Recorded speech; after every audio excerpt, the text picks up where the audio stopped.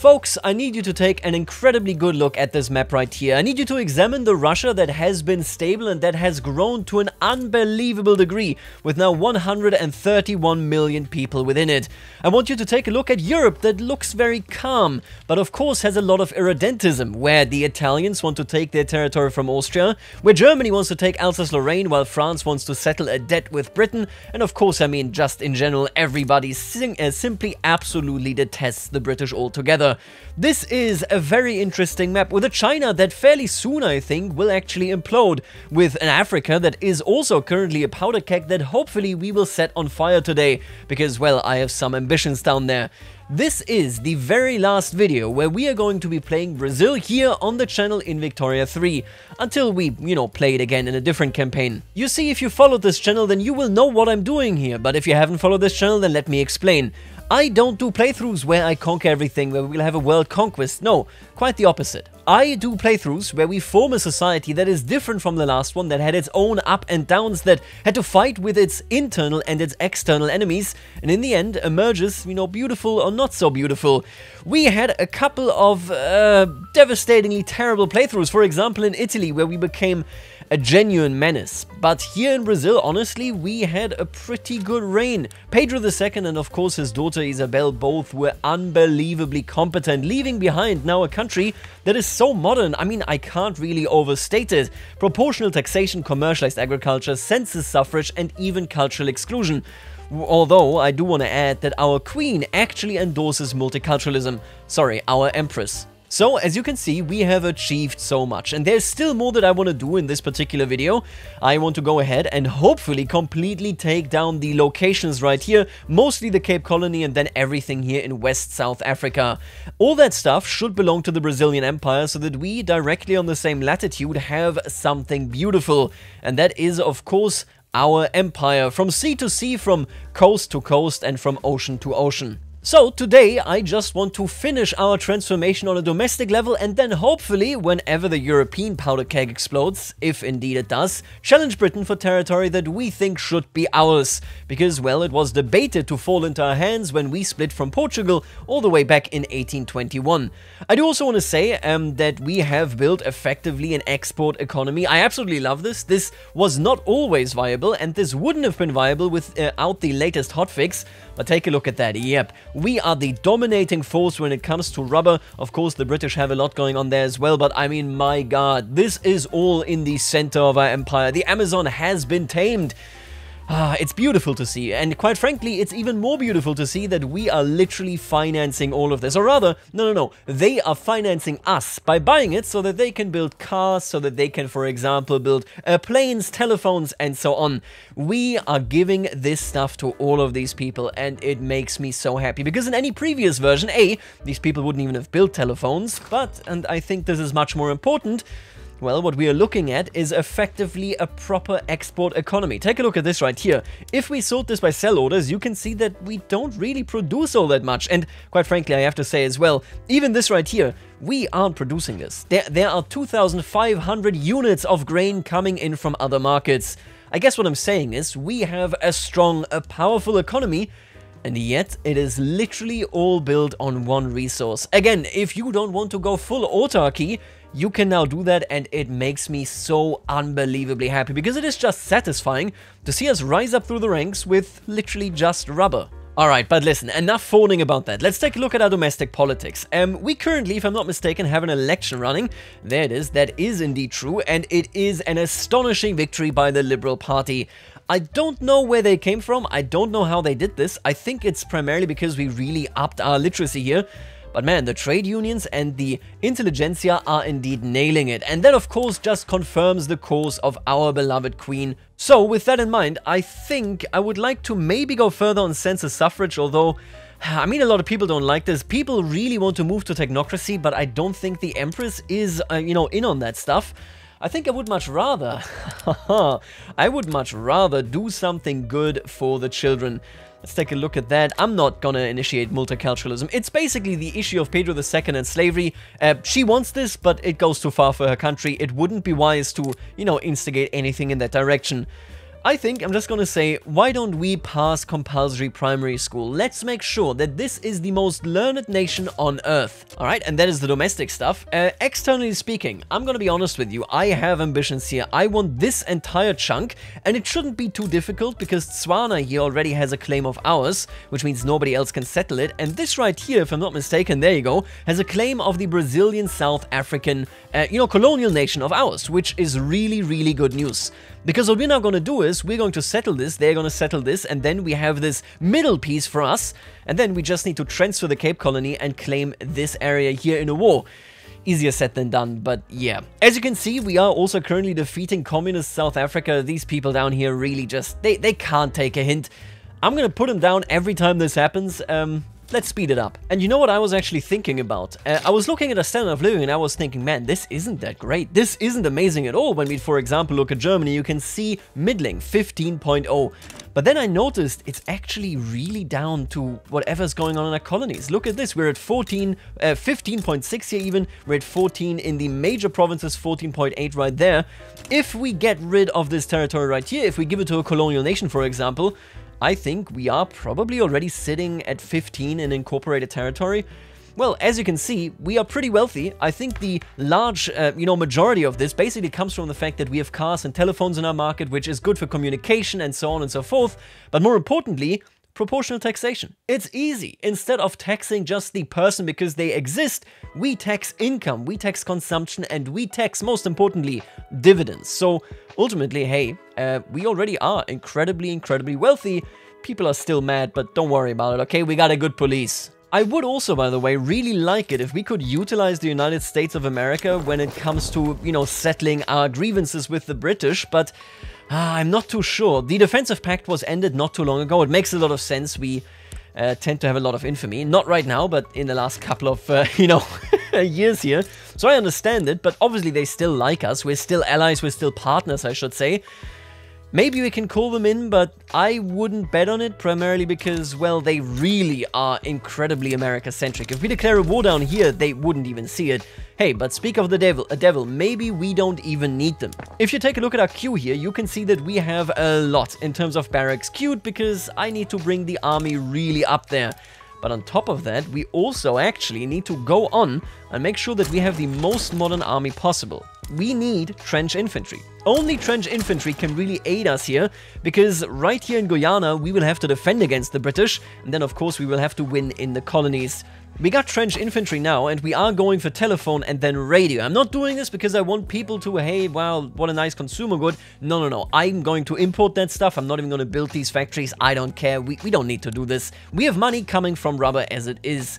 Instead, um, we're gonna go look at that, yeah. We need the radio so that I can actually get siege artillery. These two are tightly, tightly connected.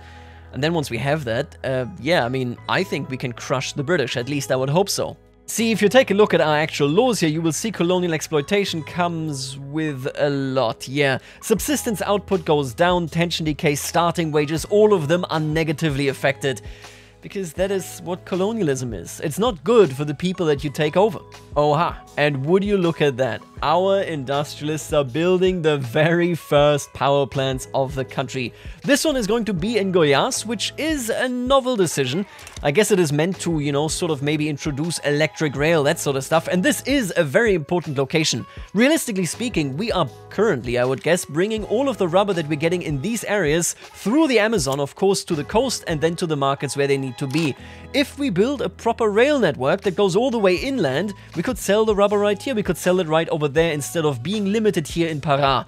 Interesting stuff. With these power plants, we are also looking at uh, some prettier colors. I already said that I really, really enjoy the way this looks here in the night, but check out Europe right here. Isn't this beautiful? When we take a look at the cities of Europe, we can see the cities that have proper electric streetlights, we can see the cities that have no streetlights, and we can of course see the cities also that have proper coal-fired lights right there. Look at that, it's so gorgeous. I love it. Uh, and now, of course, we actually should go on and build these power plants right here so that we can upgrade our lights in Brazil proper So take a look at this right here. We have uh, our leader, our current Prime Minister, Rui Barbosa, and he was incredibly important historically speaking as well, because he was there as a finance minister when Encilhamento happened, which is essentially a debt crisis where Brazil just had a lot of credit to give for industrialization of the country, and well, that didn't pan out so well. He got ousted, and then instead Take a look at this guy. This guy took over, General Floriano Peixoto. Now, of course, he's not gonna do this in this playthrough because we're doing fine. We are growing, we have a great export economy,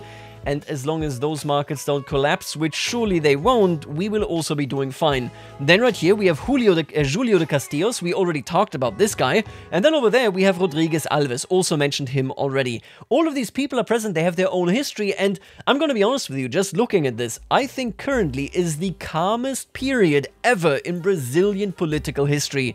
Because sure, there's a free trade party, there's an opposition uh, led by the Conservative Party, and then of course in government is the Liberal Party. But I mean, check this out. The Free Trade Party, positivists. The petite bourgeoisie right here, the strongest faction of the Conservative Party, positivists. This guy's a reformer. This is a moderate. And then right here we have just the leadership that is inclusive of the laborers. I think everybody just says, hey, the status quo is pretty good. Let's keep it going. We also passed compulsory primary school, which is just amazing. Let's up this one uh, more level. And then after that, I'm, I mean, hmm. What is popular? What is going on in the government? What exactly do they want? Mass conscription is kind of promising, kind of interesting. Obviously, we can't actually do cooperative ownership. I'm not gonna really go too far with healthcare. I think we're doing okay when it comes to that. Ah, you know what I would like to see? Women's suffrage. Yeah, I'm gonna be honest with you. Um, this is not the historical Isabel. There's a completely different ideology behind that. This is basically the Isabel if she had grown up in a realm where it was completely permissible and understandable for a woman to rule. If Pedro II and the Brazilian society had seen it that way, this is essentially a reimagined Isabel. And in her mind, I think, yeah, there's nothing wrong with the idea of saying women should also have a say in society. In this case, women's suffrage. Absolutely. I do wonder for how much longer Isabel is gonna live. She has expensive tastes, and of course she has syphilis as well, and syphilis actually lowers her life expectancy. Now, the man that comes after her is Carlos, and he's charismatic and erudite. I think he has nothing when it comes to too controversial an opinion. In fact, he is more moderate than his mother. I think we are really stable, although his face speaks volumes. And there it is, women's suffrage. If that isn't beautiful, then I don't know what is. Uh, and with that, I mean, we're pretty close to the end of everything that we wanted to do here in terms of the reform programs of, you know, Isabel herself.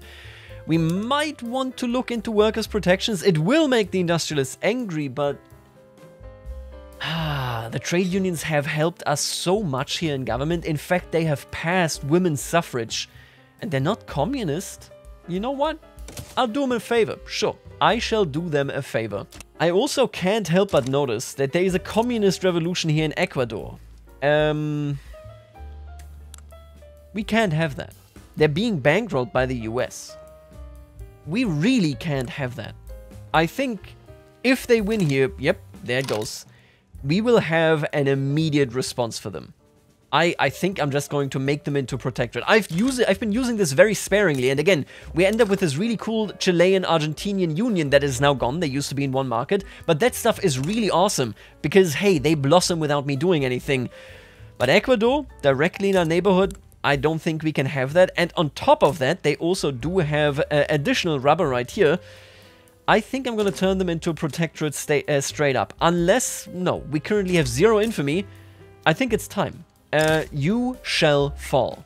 And you know what? I really like the idea of turning that into a coalition effort. I'm going to go ahead and say maybe a League of Nations exists, maybe something like that is actually flourishing, and I will give myself, together with Peru, a mandate to take care of Ecuador here.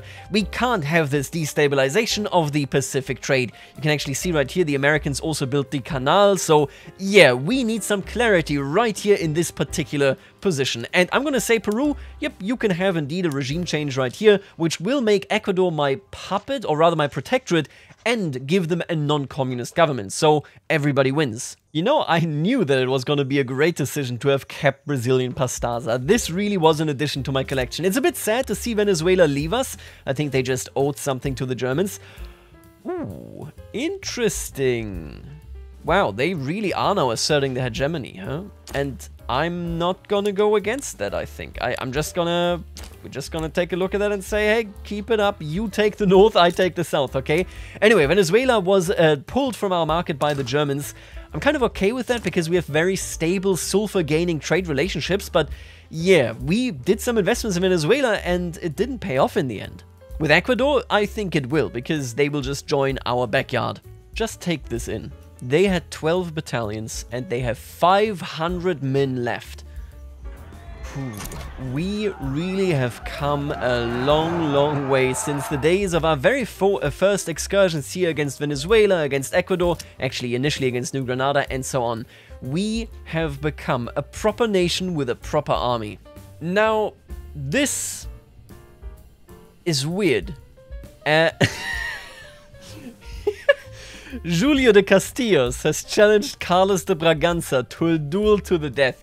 I'm sorry, this is the last episode. You know I have to do it. You know I have to press this button. If he dies, he dies.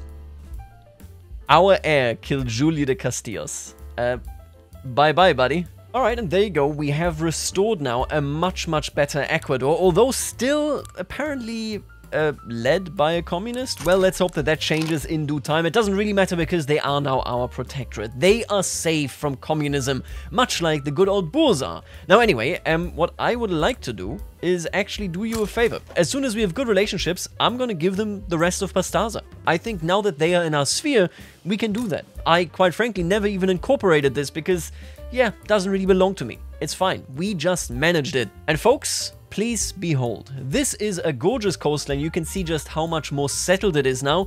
But with one click, I will make it even more beautiful. Boom. Look at that. All of a sudden, we have the clean electric streetlight that will, from now until eternity, enlighten the beautiful empire of Brazil.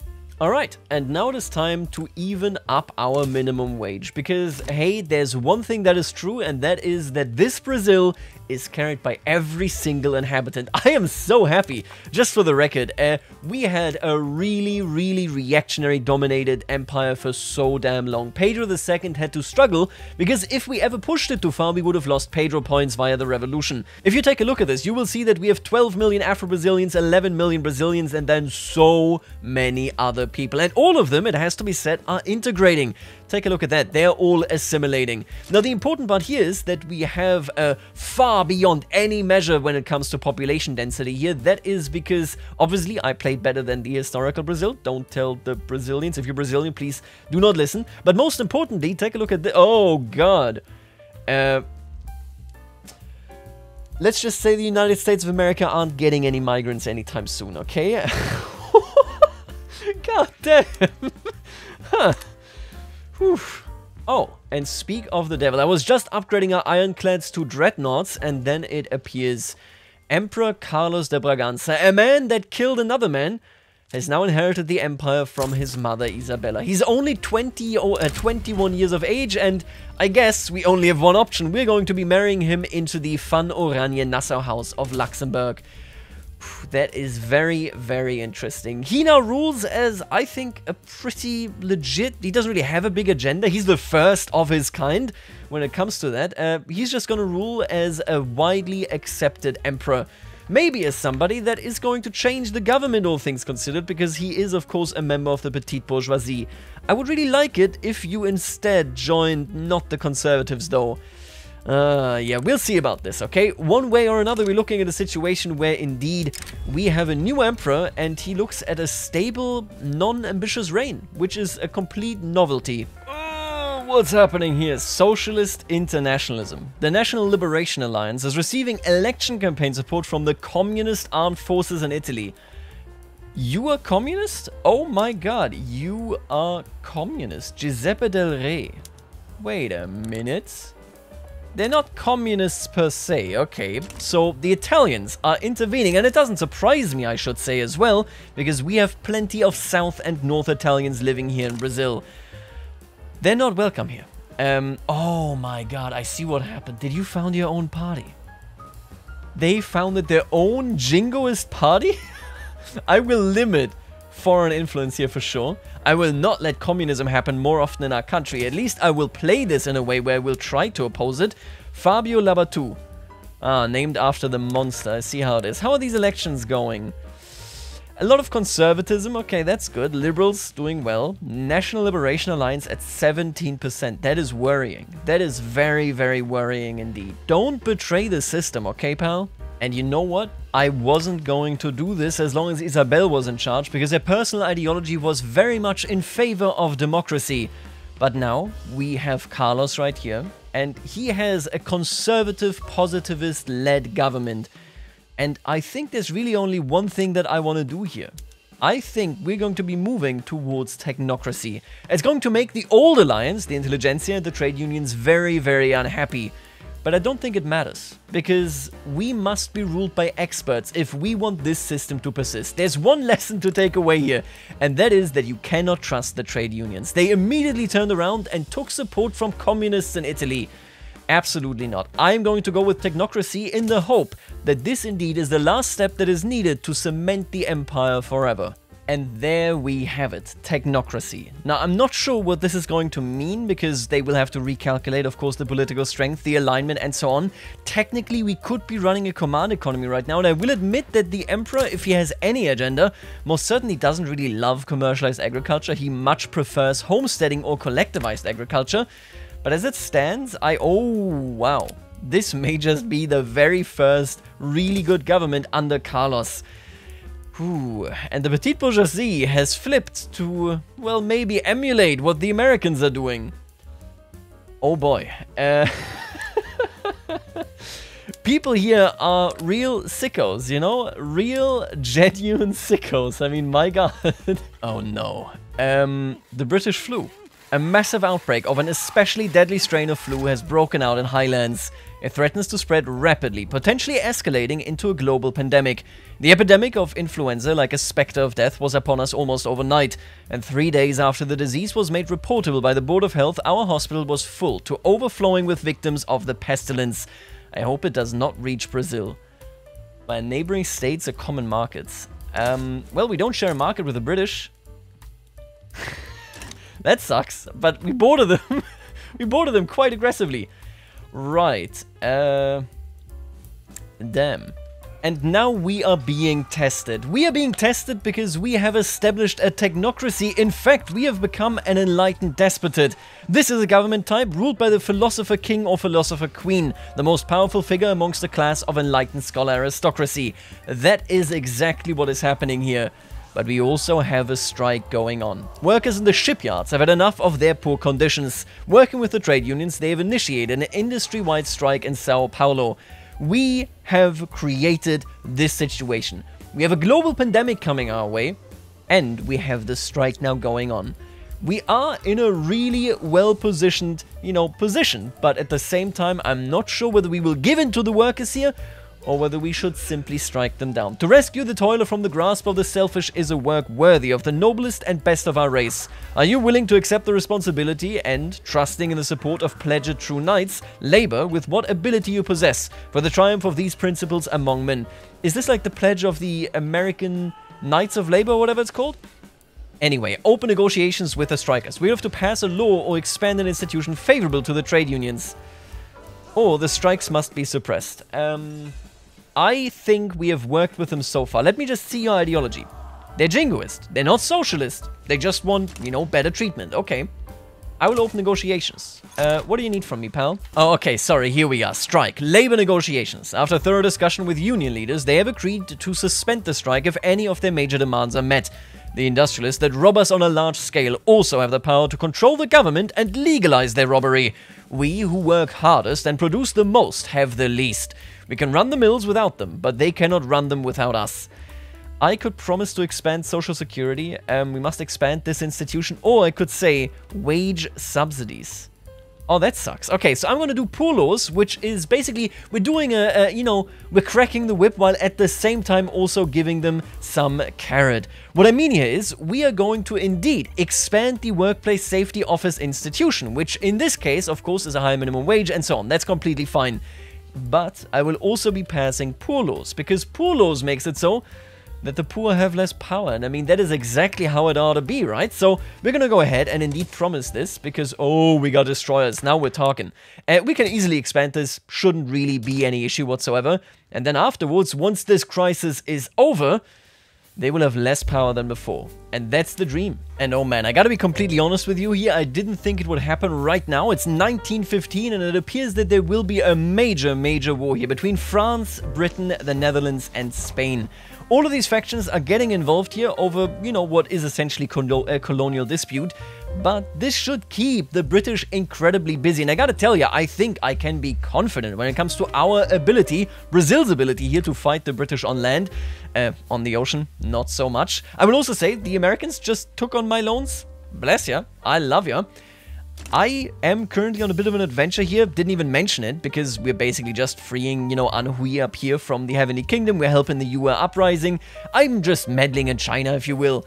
But honestly, we might just go in against the British right about now when we finish this, or maybe even before we finish it, quite frankly. I gotta tell you, just look at these numbers, this is disgusting. We're losing basically nothing, whereas they are losing everything. In total, I have lost 3,600 men in attrition, and 300 in battle, because that is how little the Heavenly Kingdom's troops are doing against us here. Ooh, I am ready to jump in against the British, I think. Bro, these numbers are actually disgusting. Look at this. Look at these numbers. I guess that's what happens when you come with siege artillery and trench infantry and they come with nothing. Oh, and wait a minute, my war goal is gone. My, my war goal is actually gone.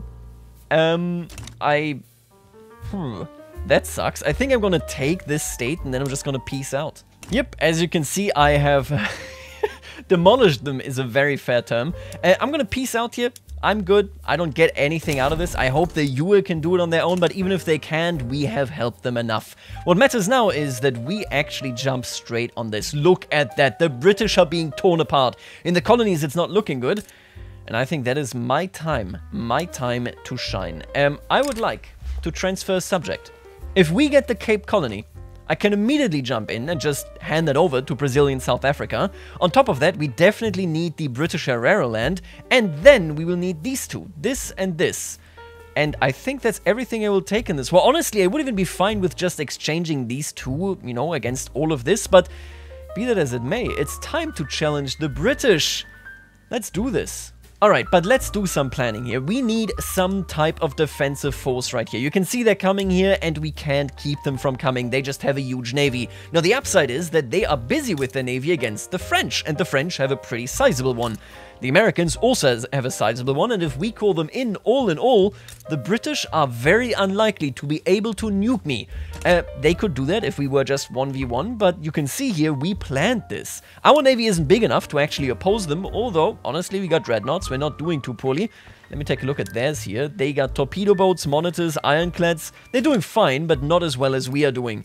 Right, so what we're going to do is, um, I'm going to go ahead, and command all of you to just entirely defend, nothing else. Um, and then I'm going to mobilize you and send you to this front line. It's fine if you take some attrition, don't worry about it. You, in the meantime, are going to go down there and fight the uh, South Africans. And then you are going to go to the front right here. And I think that is what we're going to do. If they position troops here, which is unlikely, we should see how we can do that or what we do about that. But yeah. Oh, wait a minute. The Portuguese are not in this war. Because they're just a protectorate. Oh, I should have declared against them first. You know what? Honestly, it doesn't really matter. As long as we secure South Africa, that is a really good start.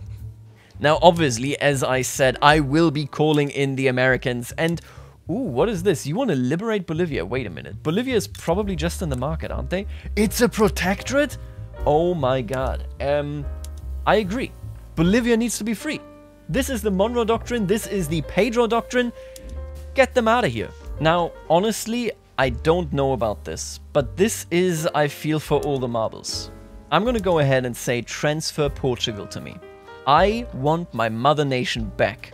That is all I can say there, I think. I am so close to the 100 infamy. So close but we're not quite getting there. Alright folks, let's take a quick look around. They did not have the manpower to defend the Cape Colony. Equally, we are advancing right here and we're marching straight towards the French soldiers that are also victorious. The colonies of Great Britain are virtually abandoned because they are fighting, look at that, with 200 divisions right here in Spain itself.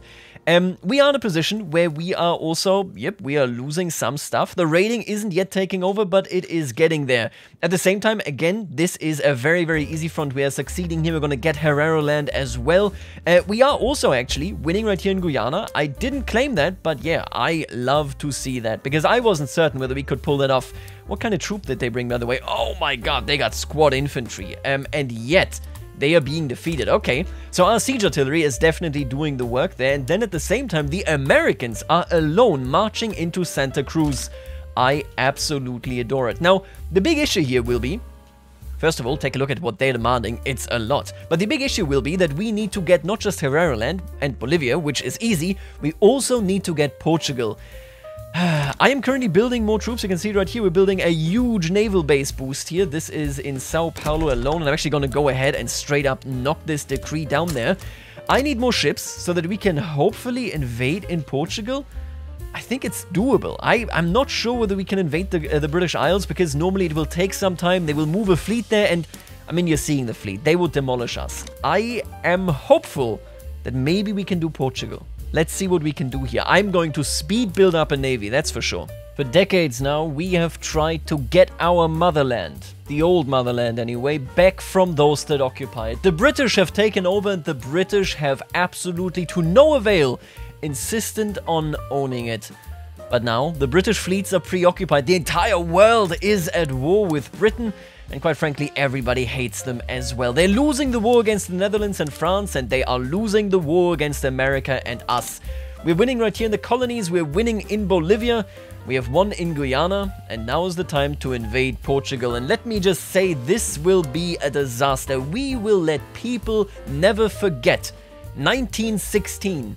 While we were fighting with a strike, and while we were fighting indeed with the, well, you guessed it, uh, English flu, we're now, well, technically the Scottish flu, I guess, the British flu. We are looking at a situation where we are annihilating the fleet that they have mustered. Their fleet is everywhere but where it needs to be because so much is happening on the globe against them. It's really interesting to think about as well, of course, in World War I it was very clear who the enemy would be to the British. They said we just need to lock this down. Strategically speaking, that is all we need to do when you have to fight a global enemy made up of multiple countries. Where do you put your fleet? They made the wrong decision because, my god, I have prepared the ultimate force to take over. Machine gunners, flamethrowers, first aid of course, then we got all these supplements and indeed also luxurious supplies. The time for our invasion comes right now. And here we are. The invasion has begun. General Urbano Labatu, what a name right here, a staunch royalist is leading the assault against General Ernesto da Silva Pereira. It is over. Portugal will return to our crown. It will be unified with Carlos as the head, and the United Kingdom will rise once more. We, at this point, can no longer be stopped. Look at this. We're advancing, we're succeeding, we're burning them alive. I mean, just look at this. They certainly weren't prepared for this. And after that, there's nothing stopping us from capitulating the British. As I said, this war is over. The only thing, truth be told, that we can call this is complete annihilation of our enemies. And again, to be fair, I need to stress we couldn't have done it without the French. If they hadn't pushed this harshly, this aggressively into Britain, if the Americans hadn't stood by our side, we most certainly couldn't have made this happen because our fleet is nowhere near what it needs to, you know, to actually be to challenge the British. But with united force against isolated Brits, we take whatever we want. And a big part of that, hello dear clowns, is of course Lisbon. We must take the entirety of Portugal if we want to call ourselves the true de Braganza dynasty. Oh my god, it's done. It's actually done. If they didn't have to spread their forces as thinly as they did, it would have never happened. But this is effectively a world war against British hegemony. it's over for them. And so, in 1917, the war ends. And we emerge victoriously. Take a good look at that. First of all, Bolivia is free. The British no longer can control them. At the same time, we took Herero and we also, of course, took Portugal. Now, they're not too happy about this, but don't worry about it. It doesn't matter, it's fine. They are now our protectorate, which means we control this entire segment of Africa as it ought to be. And let me just take a look at this. I will expand our colony, of course. Now we have a massive, massive Brazilian South Africa right here. You absolutely love to see it. Uh, what? It's 1918? Communist Russia has emerged? Under, under whose leadership? Nikolai Sorokin. I have no idea who that is. I think he's just generated. He's a vanguardist, though. Oh my god. I didn't have an interest here. This would have been really cool if I could have, you know, maybe given them a little push. Oh, that is so cool. This is the first communist Russia that I have ever seen. I don't think they will survive, but hey, that's cool. Now, I am to be honest with you. I am bankrolling communist Russia. Not just because it would be a cooler story if they won, but also because, well, Russia, if you take it together, produces a boatload of wood. And if they stop trading, who's the one trading the, uh, the wood then, huh? It would obviously be us. So let's hope they win. That is a pretty tight one here. The communists have their capital in Moscow, but they have taken the Russian capital of St. Petersburg. Plus, again, I'm bankrolling them. Uh, their loans are increasing relatively quickly still, despite my bankroll. But the Russian loans, the proper Russian loans, are increasing much faster. So I think the communists may win this if they can stop the advance in the east. That is the big question here. And now finally in 1919, the communists in Brazil have awoken, but I gotta tell ya, everybody's happy. We have policing and home affairs institution. There's very few states in turmoil. We're doing great. Uh, I don't think communism is going to take a hold of this nation, which just means, yep, we have played Brazil in the way that it was meant to be played, even in real life. And oh my god, Germany is going in! Look at that, liberate Iraq, Cyprus, Bosnia-Herzegovina, and they want Eastern Thrace! They want the Dardanelles. Wow. Um, in the meantime, it looks like the communists actually stopped the march in the east. They stopped advancing in Poland, but they moved their troops over here now. Moscow, that had almost fallen, I don't think it's actually gonna fall. oh, Jesus Christ. The Soviet Union is going in here. They want Moldavia and they want to ban slavery. Let's see how it goes. But yeah, um, they want some stuff here. And you can see now right here it is 1931. The Soviet Union has indeed advanced and quite frankly they are doing pretty well altogether. They are atheists now, they have a command economy, graduated taxation. Just look at this. I think they actually have a future. Now this right here is also the end state of, you know, what the campaign actually did. You can see that China imploded. You can see that we are a very prosperous and unbelievably nice Brazil.